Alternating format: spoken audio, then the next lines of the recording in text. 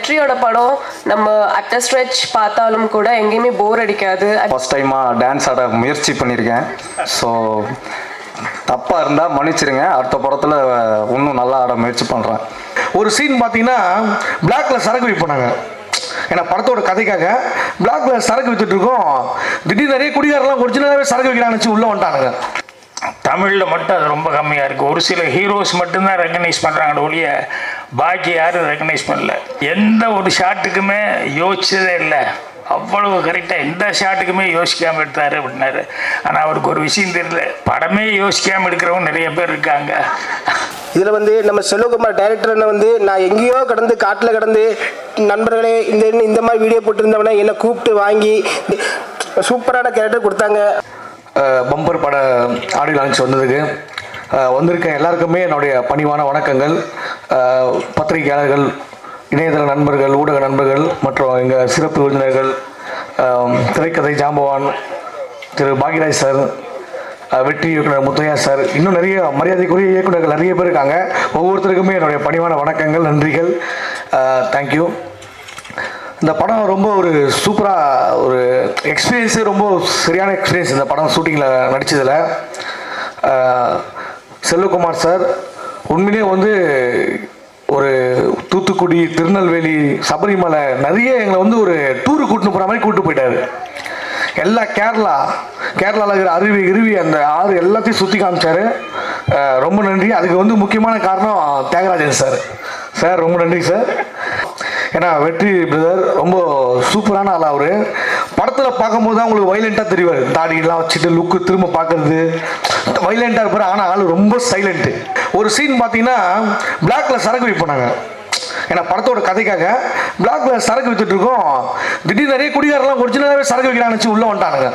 வந்து அதில் ஒருத்தன் கையை விட்டு ஒரு சரக்கு வாங்கிட்டான் பட்டுன்னு வாங்கிட்டு போயிட்டு போயிட்டான் அவன். நாங்கள் அந்த சீனை முடிச்சுட்டு வரேன் திடீர்னு தோல்ல கை வச்சு ஏய் என்ன சரக்கு சப்புன்னு இருக்குண்ணா ஏம்பா இது சரக்குல சக்கரை தண்ணி ஊற்றிருக்குமா இதுப்பா பவுண்டா கலந்து ஊற்றிருக்கோம் நீனா பார்த்துட்டு ஏய் எனக்கு காசு ரிட்டர்ன் கொடுன்றான் டைரக்டர் வந்து சூப்பராக வந்து நீங்கள் கண்டிப்பாக படம் பார்க்கும்போது உங்களுக்கு வந்து ஒரு நேட்டிவிட்டியாக ஒரு ஃபேமிலியோட என்ஜாய் பண்ணி பார்க்குற அளவுக்கு ஒரு சூப்பராக இயக்கியிருக்காரு. இந்த வாய்ப்பை கொடுத்து ரொம்ப நன்றி sir producer sir director sir ரெண்டு பேருக்குமே நன்றி சொல்லிக்கிறேன். ஜிபி முத்து. அடடா சூப்பராக சொல்லேன்னா இப்போ ஒரு இன்ஜினியர் வந்து கட்டி கட்டி பெரியாள் ஆவார். ஒரு ட்ரைலர் வந்து வெட்டி வெட்டி பெரிய ஆள் ஆவார் திட்டி திட்டியே பெரிய ஆள் ஆவார் ஜிபி முத்து. அந்த அளவுக்கு ஒரு இன்னைக்கு ஒரு இதுவாக இருக்காரு. ஏன்னா இப்போ வந்து பார்த்தீங்கன்னா ப்ராப்பர்ட்டி ஜோக்கு சொன்னால் அவர் மதுரை முத்து. ஜோக்கு சொல்லாமலே ப்ராப்பர்ட்டி வாங்கினவர் நம்ம ஜிபி முத்து. கதையின் நாயகி சிவானி அவர்கள் ஒரு சில வார்த்தைகள் பேசுவார்கள். எல்லாருக்கும் வணக்கம். ஸோ வந்திருக்கிற ப்ரெஸ் மீடியா எல்லாருக்கும் ரொம்ப நன்றி. அண்ட் வந்திருக்கிற திரைப்பட பெரியார் பெ- பெரிய மனிதர்கள் எல்லாருக்குமே நன்றி. அண்ட் பாக்யராஜ் சார் வந்ததுக்கு ரொம்ப நன்றி. எங்கள் ஃபிலிம் சப்போர்ட் பண்ணுறதுக்கு ரொம்ப நன்றி. ஸோ uh, இந்த ஃபிலிமோட producer Thiagarajan sir throughout இந்த ஃபிலிம்க்கு எந்த இடத்துலையுமே ஒரு குவாலிட்டி காம்ப்ரமைஸ் பண்ணவே இல்லை. ஒரு நல்ல சப்போர்ட்டாக இருந்து சூப்பரான ஒரு அவுட்புட் uh, கொடுக்க உதவி பண்ணியிருக்காரு. தேங்க்யூ சார் அண்ட் படத்துடைய டிரெக்டர் uh, செல்வகுமார் சார் ஒரு பர்ஃபெக்ஷனிஸ்ட்னு சொல்லலாம். அதனால தான் இப்படி ஒரு அழகான அவுட்புட் கொடுக்க முடிஞ்சிருக்கு.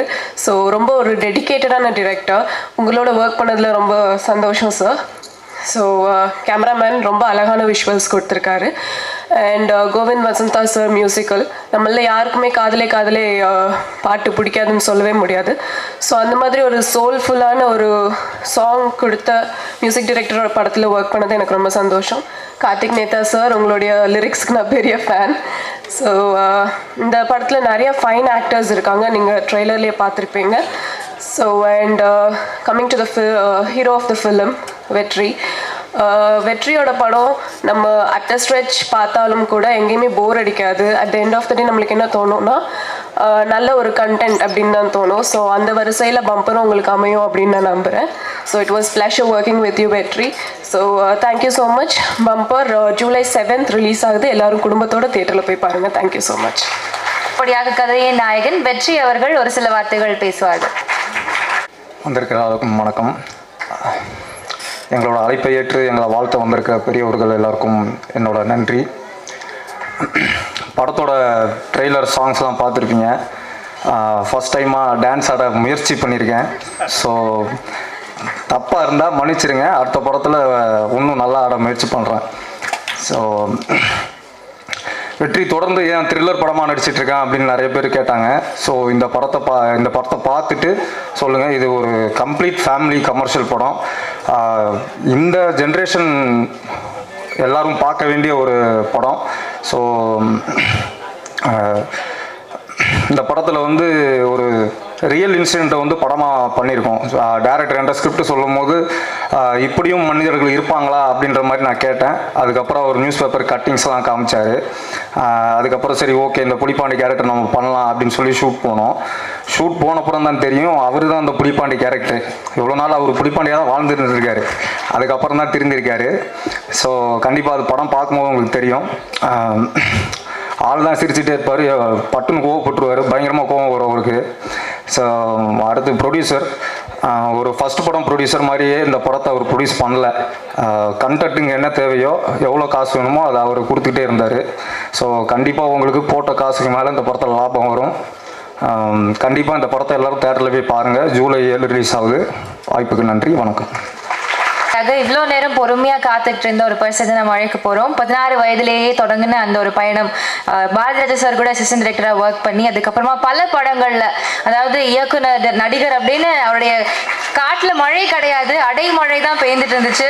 So with due respect I invite Bhagyaraj sir for a few words வெற்றி பெற பம்பர் படக்குழு வாழ்த்துகிறது.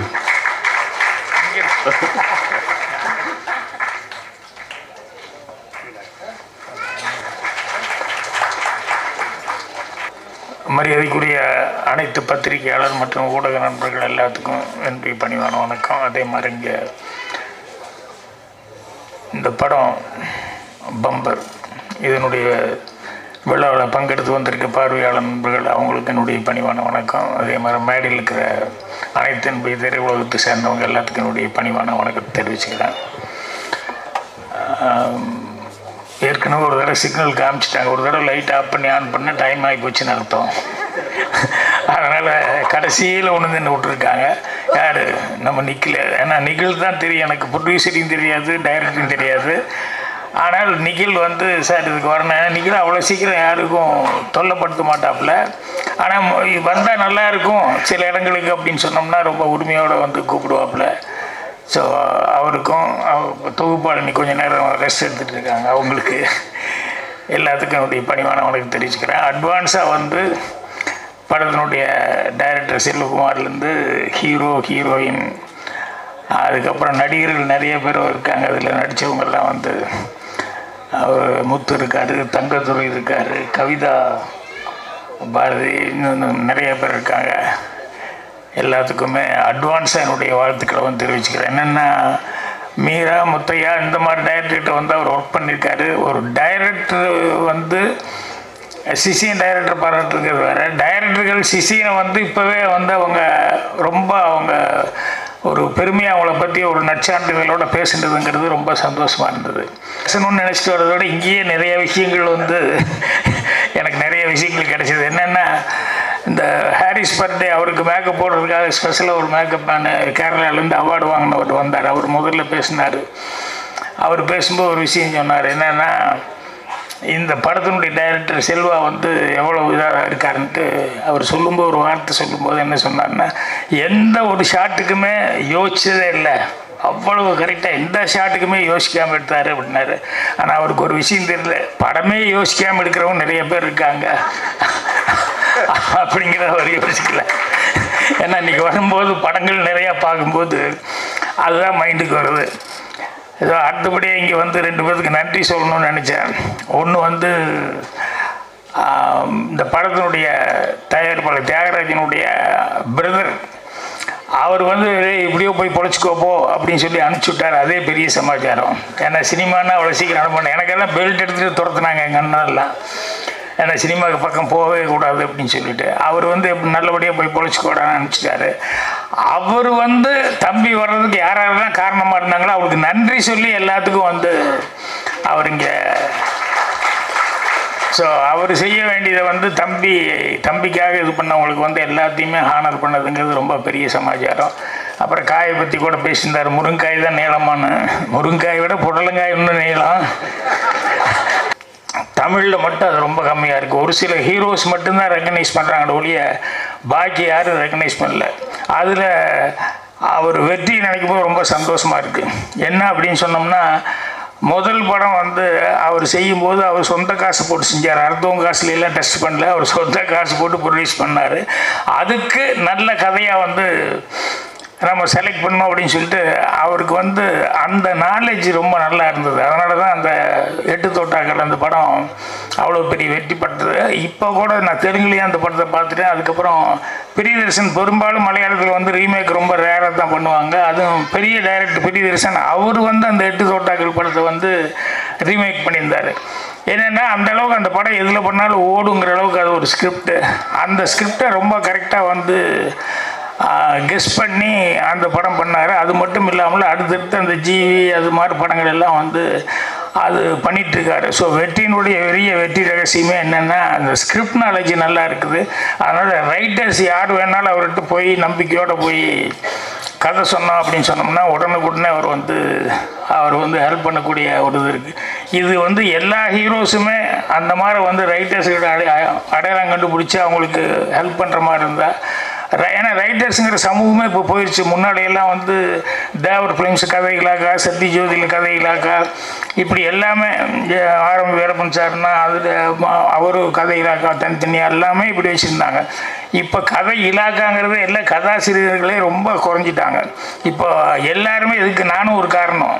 என்னென்னா கதை திரைக்கதை வசனமும் டைரக்ஷன் எல்லாத்தையும் இழுத்து போட்டு நான் பண்ணோன்னே என் அசிஸ்டண்ட்டுகளும் பூரா பார்த்திபன் பாண்டியராஜன் எல்லாம் லைனாக சோமு இவன் சேகர்னு எல்லாரும் அதே மாதிரி வர ஆரம்பிச்சிட்டாங்கன்னு சொன்னோடனே இப்போ பார்த்தீங்கன்னா தனியாக வந்து ரைட்டர் அப்படின்னு இருக்கிறது வந்து ரொம்ப ரேர் ஆகிப்போச்சு அந்த மாதிரி அதுக்கு ஒரு தட்டுப்பாடு ஆகிப்போச்சு அதனால் அந்த ரைட்டு சமூகங்கிறது வந்து இந்த மாதிரி சின்ன படங்கள் வந்து சக்ஸஸ் ஆகுது அப்படிங்கும்போது அதை வச்சு தான் இருக்குது. இப்போ தாதா படம் பண்ணால் எடுக்கும்போது அவர் எனக்கு கம்மியாக தான் கதை ஏன்னா நான் நடிக்கிற போர்ஷன் வரைக்கும் தான் அவர் வந்து சொன்னார். மற்றபடி நானும் வந்து பெருசாக கேட்டுக்கல என் கேரக்டர் வரைக்கும் கேட்டேன். அதுக்கப்புறம் படமாக பார்க்கும்போது தான் யங்ஸ்டர்ஸ் வந்து இன்றைக்கி யங்ஸ்டர்ஸ் தகுந்த மாதிரி இருக்கணும் அதே நேரத்தில் ஃபேமிலிக்கு தகுந்த மாதிரி இப்படியெல்லாம் படம் பண்ணுறாங்க அப்படிங்கிறத வந்து தெரிஞ்சுக்கிறேன். ஸோ இவ்வளோ பேர்த்துக்கிட்ட வந்து இன்றைக்கி ஒரு செல்வகுமார் அவர்கள் வந்து இவ்வளோ பேரும் சொல்கிற அளவுக்கு வந்து இந்த பம்பர் படம் பண்ணியிருக்காரு அப்படின்னு சொல்லி சொல்லும்போது அது கண்டிப்பாக வெற்றி வந்து அதை கேட்டுக்கிட்டு அவரே பிரியப்பட்டு நான் செய்கிறேன் அப்படின்னு சொல்லிட்டு இந்த படம் செஞ்சுருக்காருங்க போது கண்டிப்பாக ஏற்கனவே பேசினவங்க சொன்னாங்களே இது பம்பர் அடிச்சிருச்சு அப்படிங்கிற மாதிரி சொன்னாங்க. இனிமேல் பேங்க்கில் போய் வாங்க வேண்டியது மட்டும்தான் பாக்கி அப்படின்ட்டு. கண்டிப்பாக அந்த படம் வந்து சக்ஸஸ் ஆகிறதுக்கு எல்லா விதத்துலேயுமே இதாக இருக்குது நண்பர்களே இங்கே வந்திருக்க எல்லாத்துக்குமே வந்து ரொம்ப வணக்கம். அது போக வந்து நம்ம செய்தி டிவி அவங்களுக்கு வணக்கம். யூடியூபருக்கு எல்லாருக்கும் வணக்கம். இந்த பம்பர் படம் வந்து ரொம்ப ஒரு சூப்பராக எடுத்திருக்காங்க. இதில் வந்து நம்ம செல்வகுமார் டைரக்டர்னு வந்து நான் எங்கேயோ கடந்து காட்டில் கடந்து நண்பர்களே இந்த இந்த மாதிரி வீடியோ போட்டிருந்தவனே என்னை கூப்பிட்டு வாங்கி இந்த இந்த படத்தில் வந்து எனக்கு வந்து ஒரு நல்ல கதையை கொடுத்து சூப்பரான கேரக்டர் கொடுத்தாங்க. அதில் அது போக இந்த படத்தில் வந்து என்ன வந்து நம்ம ப்ரொடியூசர் நம்ம அண்ணன் நம்ம செல்வகுமார் அண்ணன் எல்லாருமே வந்து ரொம்ப பாசமாக இருந்தாங்க. ப்ரொடியூசர்னா ப்ரொடியூசர் மாதிரி இல்லை. அண்ணே சாப்பிட்டீங்களா? சாப்பாடு இருக்கா? என்ன வேணும்? எது வேணும்னு சொல்லி ஒரு ரொம்ப ஒரு பாசமாக கவனித்து வாங்கி நம்மளுக்கு என்னென்ன தேவையோ கரெக்டாக செஞ்சாங்க. அவங்க வந்து கூட பிறந்த நம்ம அண்ணன் மாதிரி கூட உட்காந்துக்கிட்டே என்ன எப்படி இருக்கிற உடம்பு பரவாயில்லையா? நீ வாங்கிங்களா வாங்கிங்களான்னு ரொம்ப இது பண்ணாங்க.